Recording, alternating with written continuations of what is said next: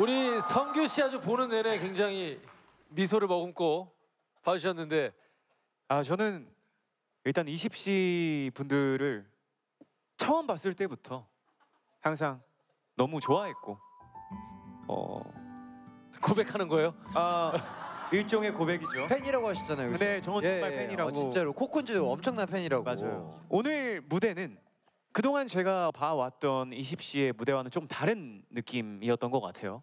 그래서 좀 색다른 면을 볼 수 있어서 좋았던 것 같고 그리고 비세훈 씨가 참 정말 그 춤을 추면서 그러니까 계속 계속 불러. 아 그러니까 또 이렇게 끝까지 안정적으로 라이브를 하시는 걸 보면서 사실 저는 거기에 눌렀던 것 같아요. 아 이게 맞아요. 나도 마찬가지. 정말 대단하다. 능력치가 정말 굉장한 친구구나라는 생각을 하면서 응원하면서 잘 봤습니다. 네 감사합니다. 어떻게 완곡을 저렇게 숨도 안 차고 부르지? 1절은 거의 혼자 다 부르시던데. 아니 그 숨참이 없지 않아? 맞아 맞아. 되- 폐활량이 폐가 두 개인 것 같아. 폐는 나도 두 개야. 아 그렇지. 심재원 심사위원님. 네, 저도 일단 보컬이 너무너무 안정적이어서 비세훈님한테 일단 너무 놀랬고요. 호흡 하나 안 흐트러지고 너무 잘 부르시길래 중간에 저 in-ear를 뺐었어요.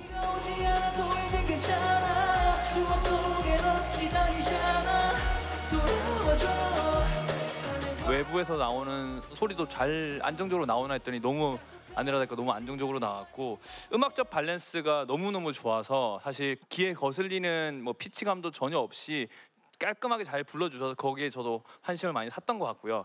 음, 피치 안 떨어지고. 인정이 아가미 달린 줄 알았어 나는. 보컬이 너무 안정적으로 잘 나왔기 때문에 좋았던 무대였던 것 같습니다. 네, 저는 이번에는 신곡 미션인 만큼 얼만큼 백지장에서 내 걸로 만들 수 있는지가 어, 결정적인 포인트인데 저는 이 노래를 듣고 있는데 설득력이 좀 없었던 것 같아요. 그 동안에 봐왔던 두 분의 그 자유로움 그리고 그 에너지가 안 느껴졌고 오히려 진짜 이쪽으로 가서 랩을 하고 있는데 등을 돌리고 되게 좀 자신 없 는 몰입감이 저는 좀 없었어요. 오늘은 신곡인 미션인 만큼 내 곡을 내 걸로 만드는 이 시기에서는 저는 오늘 설득력이 좀 없었습니다. 뭐큰 실수는 없이 무사히 끝마쳤지만 결과는 조금 아쉬웠습니다. 네. 힘내시고. 네. 예. 저도 했어요. 어깨가 이렇게 됐어. 아 지금 그냥 힘이 잘 안 납니다. 예.